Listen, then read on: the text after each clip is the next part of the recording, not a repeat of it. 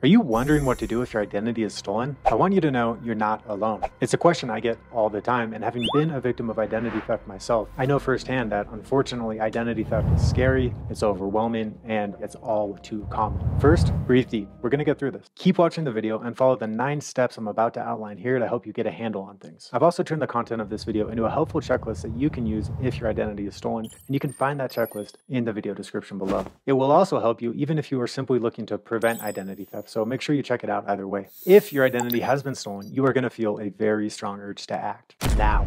But I want you to breathe deep and think carefully. Why do you think your identity has been stolen? This question is very important because there are a variety of phishing schemes out there that are designed to whip you into a frenzied state, a panic state, a state in which you are prone to reveal personal information to an identity thief. So, if you think your identity has been stolen because you've received an intimidating email from PayPal, or because you got a phone call from somebody purporting to be from the IRS about unpaid taxes, pause, stop, and breathe. Never respond to these emails, texts, or phone calls directly. They are almost always going to be scams. Instead, find the number of the institution in question and contact them directly using that number. But double, triple check that it is in fact their legitimate website. If, after following the step above, you still suspect identity theft has occurred, you might consider identity theft protection. Personally, I use and recommend Aura, but there are a lot of options out there. Now, a service like Aura cannot reverse identity theft. No service can. But it will give you access to their 24 7 threat resolution specialists who can help you do things like get specific next steps to follow in order to prevent further damage. They'll join you on calls with your bank and other financial institutions in order to clean up the mess. And importantly, they can act as emotional support at a time when you might really need it. If you are dealing with extensive identity theft, you should know that services like Aura and also Identity Guard, they actually offer you the ability to sign over power of attorney to the company so that they can clean up the identity theft mess on your behalf. But that's an aside. Whether you go with the service or not, you are going to want to immediately freeze or lock your credit at each of the three major credit bureaus. This is probably the single most important thing you can do, so pay close attention. First, you are going to issue a fraud alert. What a fraud alert does is it tells businesses to take extra steps in order to verify your identity before issuing any credit in your name. A fraud alert is going to last one year. You can renew it for up to seven years if necessary. And the great thing about placing a fraud alert, it's actually very easy to do. You only need to do it at one of the three bureaus. So you can call Equifax, you can call TransUnion, you can call Experian, but you only need to call one of them. And then by law, that credit bureau needs to notify the other credit bureaus that you have issued a fraud alert in your name. And if you need a phone number for those bureaus, check below. They're going to be in the video description. Now, when you initiate this fraud alert, you are entitled to receive a free copy of your credit report. You can also get a free copy of your credit report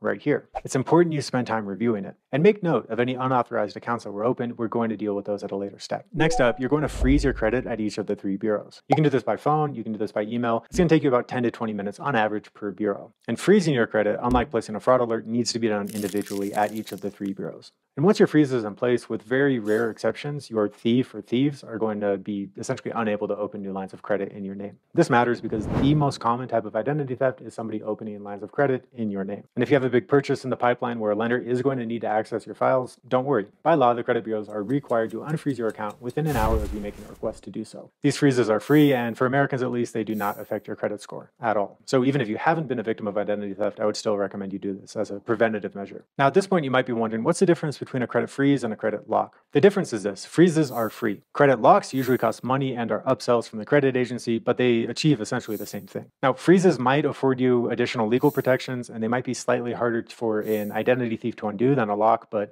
know that they're essentially the same thing, and I often use the two words freeze and lock interchangeably. You should also know that some identity theft protection services give you the ability to lock your credit files at at least one of the three big credit bureaus with the click of a button. So, for instance, with Aura, discounts available below, you can lock and unlock your credit file at Experian by simply clicking a button in their dashboard. You don't need to actually call Experian to lock your file. I appreciate that because it definitely is a bit of a time saver. Now that your credit is frozen or locked, we're going to work on changing your login credentials. And a good password manager like Bitwarden or 1Password can really help with this. So you're definitely going to want a reputable password manager because when I say change your credentials, I'm not just talking about changing your password. I'm talking about changing your usernames and oftentimes email addresses as well. Think about it. If your user login for your bank is your first name, period, last name, that's going to be very easy information for a hacker to decipher. If you're using your same email address for social media, for public posts, as well as for your banking, well, that's something that a hacker, an identity thief, can also reverse engineer. So that's why I recommend you use a service like Proton Mail in order to set up what are called email aliases and essentially create one that you use only for banking purposes. Ideally, you also have a non-public phone number linked to your bank accounts as well. The next thing you're going to do is create a recovery plan at identitytheft.gov. This is an incredible resource that can help you to create a customized recovery plan, so I highly recommend you check it out. Visit it, bookmark it, and use it to create a recovery plan that is custom tailored to you and your unique situation. Next up, we're going to report this identity theft to the FTC or Federal Trade Commission. You can do this via their website, which I've linked down below, or by phone. Now, the FTC is not going to investigate your case, but the report will go into the FTC's national database on identity theft. This database helps local law enforcement track and catch criminals. And by reporting to the FTC, what we're doing is we are essentially reducing our liability for any damages that stem from this identity theft. So you want to file this FTC report as soon as you discover that identity theft has occurred, ideally within 48 hours. Next up, we're filing a police report. Now, the local police probably will not be able to catch the thief. Kind of reminds me of the scene here in The Big Lebowski when, ah, that's a weird reference. But like when you filed the FTC report, you are working to create a paper trail, and this is going to be useful when you're talking with creditors. When creating this report, compile all available evidence. Debt collection notices, credit reports with false information. Once a report's created, make sure that you get a copy from your local PD for your own records. Now, if you get pushback from local law enforcement and they're unwilling to listen to your case, then you can use the law enforcement letter template that I've linked up in the video description below. So now your credit is frozen and you've placed fraud alert. Great, you're making good progress. Next up, we're going to deal with any unknown accounts on your credit report. At this point, you will have acquired a copy of your credit report either from going to this URL here or by signing up for a service like Aura. And basically, you're going to go through that report and look for any unauthorized accounts that have been opened in your name. When you see them, you contact the fraud department of that particular business. You ask them to remove any unauthorized charges, and then, of course, you ask for them to close the account. You'll do this with any businesses, with any banks, with any creditors where fraudulent lines of credit have been opened in your name. Be sure to ask for written confirmation of account closure and that any fraudulent charges are waived. You might also have an account at NCTUE, that stands for the National Consumer Telecom and Utilities Exchange Data Report. That was a mouthful, but if you do have an account here, review it. Basically, this account is a record of any phone accounts, paid cable, and utility accounts that have been opened in your name. If you find any unusual activity on your account here, well, you know what to do. And here are some additional considerations you might want to take. Freeze your file at ChexSystems. Contact the United States Postal Service and check whether there's been a mail forwarding order set up in your name. This is what identity thieves will do in order to intercept your mail. And while on their website, this is also a great time to sign up for the USPS's Informed Delivery Program. Additionally, whether your identity has been stolen or not, I recommend you get an identity protection pin from the IRS. From now on, anybody filing taxes in your name, including of course yourself, will need to provide this pin. By setting up your identity protection pin, you make it that much more difficult for a thief to criminally intercept your tax refund. You can also review your social security work history and benefits by using the link down in the video description below. And if you discover that your number is being used fraudulently, you can contact your local SSA office. If after following all of the steps in this video, you're still having issues, man, I'm first so sorry to hear that. That's so incredibly frustrating. In this case, consider contacting your state attorney general's office. Many states offer what is called an ID theft passport. This is a state issued document that you can use as proof of the fact that you are a victim of identity theft. Remember to claim your checklist in the video description below, and I'll see you in the next video.